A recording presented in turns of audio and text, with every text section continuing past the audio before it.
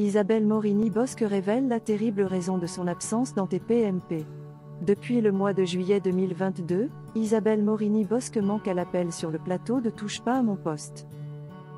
Une absence que certains téléspectateurs déplorent. Depuis son départ, c'est la journaliste Danielle Moreau que Cyril Hanouna a choisi pour la remplacer. Pour autant, la chroniqueuse n'a pas totalement disparu puisqu'elle est de retour dans l'émission TPMP People. Une présence à l'antenne qui laisse entendre que l'absence d'Isabelle Morini-Bosque n'est pas due à des tensions avec Cyril Hanouna ou avec les autres chroniqueurs. Récemment, elle est revenue sur les raisons de son absence face à Jordan Deluxe. Elle y évoque notamment les problèmes de santé de son époux. Il a subi plusieurs opérations avec un pronostic vital engagé, précise-t-elle. Isabelle Morini-Bosque a donc pris le choix de rester à ses côtés pour s'occuper de lui. Avez-vous hâte qu'elle revienne dans TPMP